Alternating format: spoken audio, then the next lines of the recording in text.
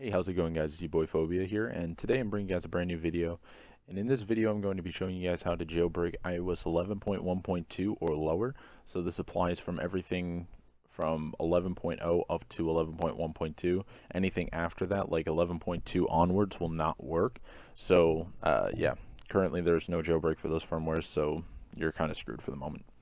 Anyway, to get started, you're going to need a couple things. Uh, by the way, this is the Windows version of this tutorial, obviously. Uh, I do have a Mac version of this tutorial, so if you need that, you can uh, view, you know, there will be a link in the top right of your screen, or you can go to my last video before this one. Uh, that was the Mac tutorial.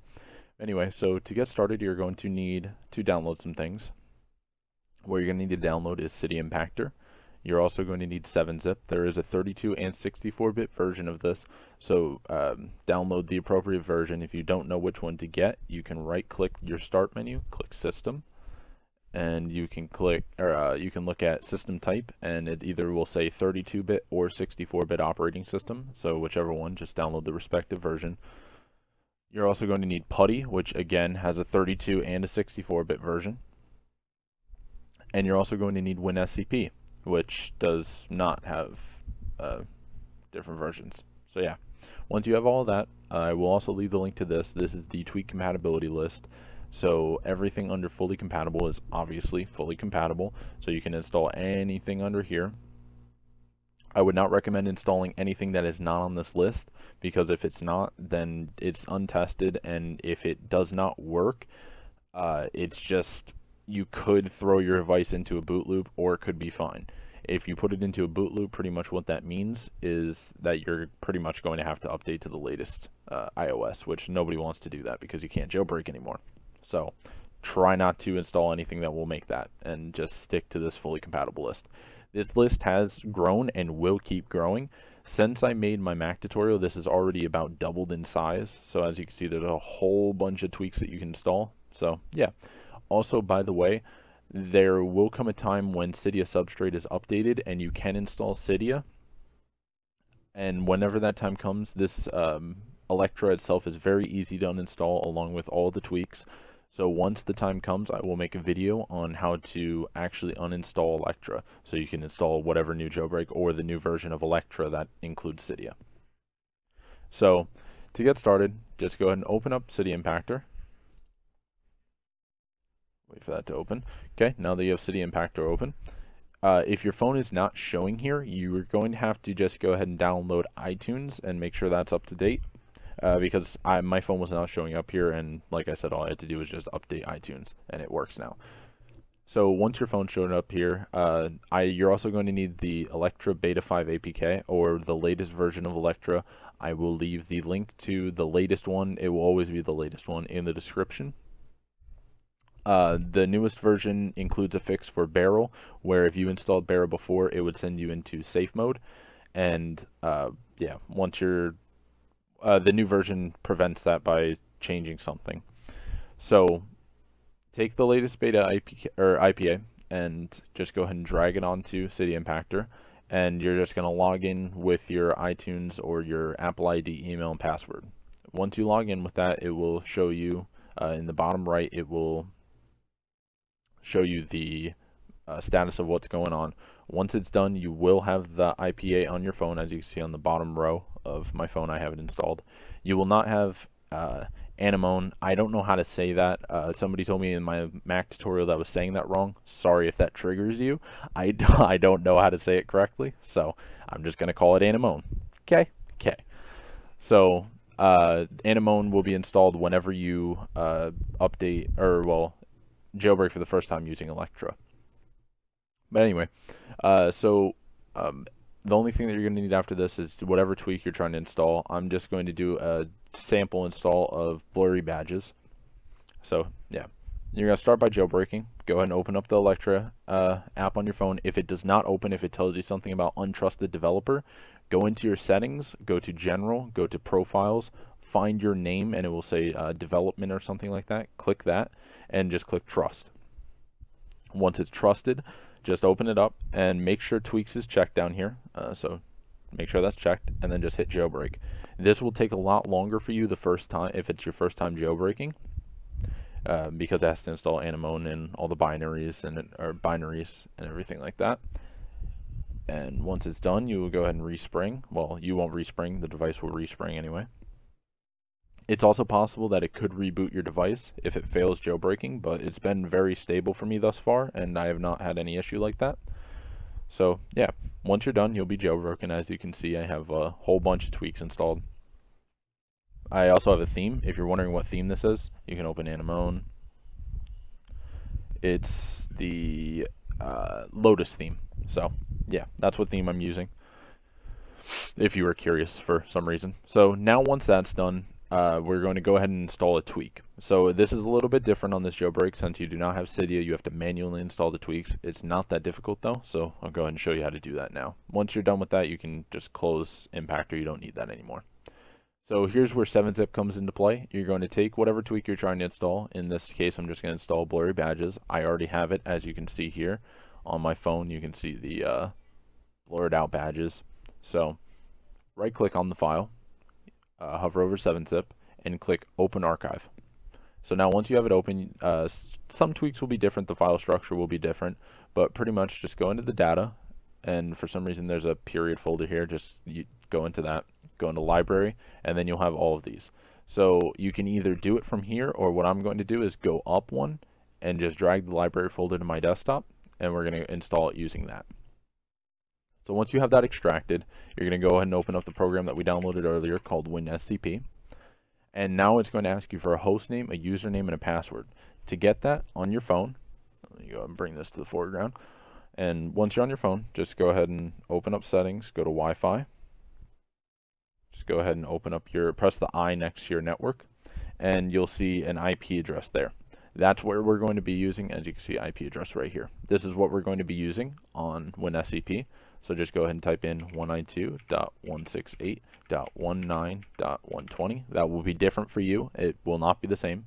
So just make sure to check that in settings. For username, you're just going to type in root. And for password, it's going to be Alpine. A-L-P-I-N-E. So Alpine. And that is the default password. I will show you how to change that um, once we get logged in later on terminal well, on a shell anyway, we'll go ahead and change that because it's not a good idea to leave it as stock. Because if you're in a public place, somebody can connect to your phone if you're on the public Wi-Fi, and it's just, it's not good. But anyway, so once you type that in, just click on login. It'll log in. Uh, the first time you connect, it will ask you, or it will say something about a untrusted certificate or something like that. Just click yes on it. And once you do that, you're going to be in the uh, home directory of the root user, which is uh, private var root. You're just going to click this right here and go to the root. Once you're here, you're going to go into Bootstrap. Uh, if you know how to uh, uninstall or how to run scripts, this is the script right here that you use to uninstall. So, uh, like I said, I'll make a tutorial for everybody who doesn't know how to do that later, but if you do know how to, that's how you unjailbreak right there. So uh, maybe later. maybe. But anyway, go into, now in here you're going to go into library. And we're going to go into SB inject first. That's where uh, the bulk of tweaks will be installed. So you're going to go ahead and open that library folder that you extracted earlier. So you'll have mobile substrate, uh, preferences bundles, and preference loader.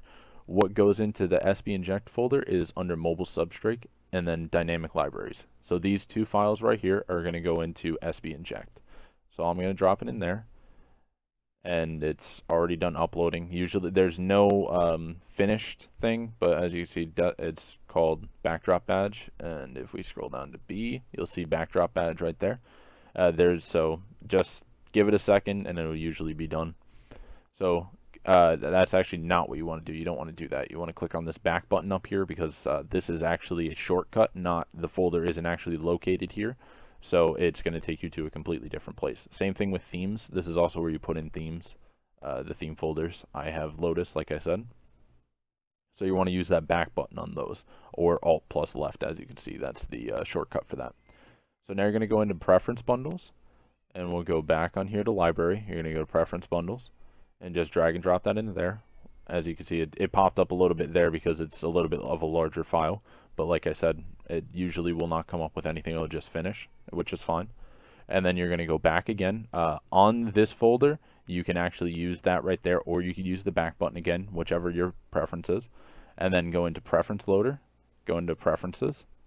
Back here, you're going to go Library, Preferences, or Preference Loader, and then Preferences, and again, just drag and drop. Simple as that. So now you might be asking, how do I get this to show up? Which is where PuTTY comes in. So now we're going to leave this open for now, but now once you have all the tweak files installed, go ahead and launch PuTTY. So now this is going to be our mobile shell, or how we're going to connect to our phone. So once again, you're going to enter this IP address here.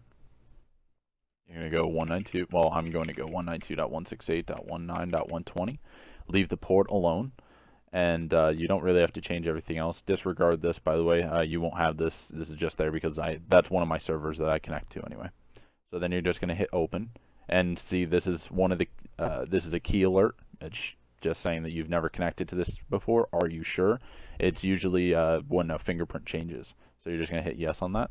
And now it's going to say login as. So here you're going to type in root.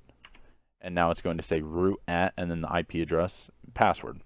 Once again, it's A-L-P-I-N-E. Unless you have changed it, that is the default. And then you'll get this shell, iPhone root. So now all you have to do, if you're just installing tweaks, you're just going to type in kill all space dash 9 space springboard. So just like this. Uh, I would try and remember to put this in the description. I didn't last time, so I, if I remember, I'll put that command in there so you could just copy and paste it. But once you have that typed in, you can just go ahead and hit enter, which we will in a second, but I'm going to show you how to change your root password first. So to do that, all you have to do, it's very simple. Just type in PASSWD, and that is the just Linux uh, command to change your password. Hit enter, and it will say changing password for root. And you can type in your new password, and just it'll ask you to confirm. And once you confirm your password, it'll it'll update it. So I actually wasn't planning to do this, but so I'll just put in Alpine, Alpine, just in case. Uh, as you can see, I messed up. I messed up the password because you can't see what you're typing. So if that happens, just type it in again and make sure you actually spell it right this time, as you can see. So now, once again, uh, we're going to enter in that command, kill all, space dash 9, and then springboard. If I can type. Typing's hard. Then just hit enter, and it, as you can see, it's respringing my device. Sorry about that, but now once your device is resprung, you can see uh, that your changes will take an effect, have taken effect. I already had blurry badges installed, so as you can see, there isn't any difference on my screen personally, but on yours, obviously, it will take place. So now I'm going to show you how to delete apps if it sends you into safe mode, or if something goes wrong with them, uh, I'll show you how to delete them. So pretty much all you have to do to delete, to delete tweaks is just go into the folders where you just place stuff. Uh, if assuming you can kill, still connect to your um, phone through uh, WinSCP, you'll go ahead and just go into the folder. Let's say this one that I just installed, better, uh, blurry badges, was a problem. You just select both of them. If you just click one and then control click the other one, just click delete, and then as you can see, you can just delete it. I press delete on my keyboard, but you can press the delete button here. I don't need to delete those, so yeah, I'm going to leave them alone. And then go back and preference bundles, same thing, just select it and delete it. And let's say there is a preference loader for the tweak that you had an issue with, just once again delete it. So simple as that, and then you're going to issue that same command, kill all dash 9 springboard, once you're done with that. Once you're done deleting the folders, I mean, and it should come out of safe mode. So now, once you're done with that, that's how you uninstall tweaks. And uh, yeah, so now you're jailbroken. Now you know how to delete tweaks if there's issues with them, and you also now know how to install tweaks. So that's pretty much it. Um, I hope you guys enjoyed the video, and if you did, please leave a like and subscribe. Helps a lot. And if once the, like I said before, once the substrate update is released, I will make a new video of how to uninstall uh, Anemone, it's, or not Anemone, uh, Electra and Anemone and any other tweaks. Um, it's very simple. I'll make a video of how to do that. But until then, uh, have a good one. I'll see you the next time. Peace.